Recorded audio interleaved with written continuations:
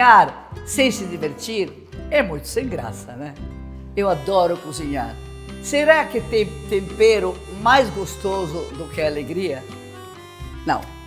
Eu sou Silvana Tinelli, italiana, apaixonada pelo Brasil e por gastronomia.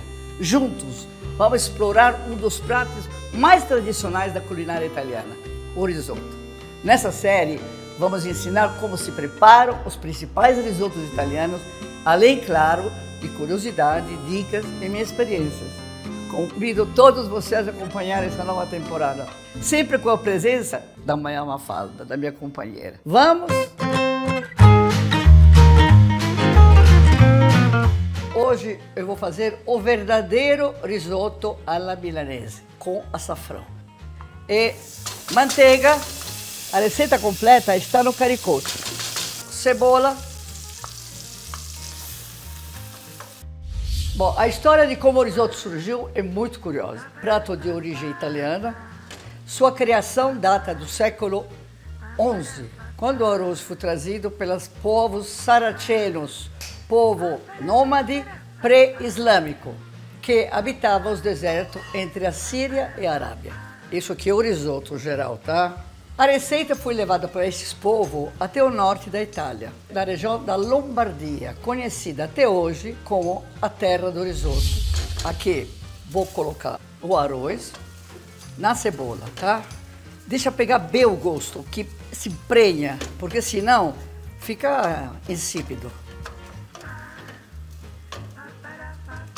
Vou colocar um copo de vinho branco. Você pode colocar saquê, você pode colocar pinga, tá? Que seja branco, não tinto. Mas você pode colocar o que você quiser. Aí, deixa evaporar. Deixa bem pegar o gosto, tá? E agora, nós vamos colocar o brodo, que é o caldo, tá?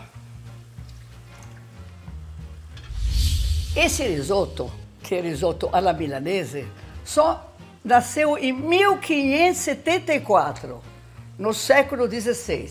Há muitas teorias peculiares sobre a forma como o prato foi criado. Uma delas é sobre um vidraceiro contratado para a construção da Catedral de Milão, Valério di Fiandra, que usava açafrão para colorir os vitrais da catedral. No casamento da sua filha, queria estragar o risoto que os convidados iriam comer no jantar, deixando cair o açafrão dentro do preparo.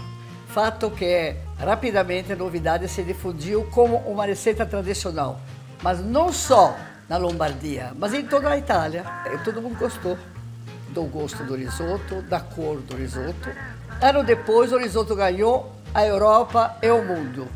Você faz risoto de açafrão, com ossobuco, você faz risoto de açafrão com milanesa do lado, eles fazem, muito boa, aliás.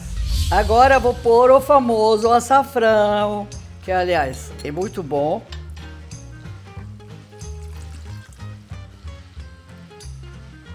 Não desperdice nada. Olha que beleza que tá. E agora vamos virando, virando, virando, que a ideia do do vidraceiro foi ótima. Tem aqui no Brasil curcuma, que é, seria o açafrão daqui. Porém, não é tão amarelo. Eu gostei muito menos, então você precisa pôr mais curcuma. Aqui nós vamos pôr, colocar sal. Sempre o sal no final, tá? Porque você não sabe como vai pegar o gosto, é, ou açafrão, ou o brodo, que é o caldo. Bom, agora o queijo. Este clássico é, para mim, o melhor, porque você pode acompanhar com muitas comidas, tá? Então, vamos amanteigar ele, ó.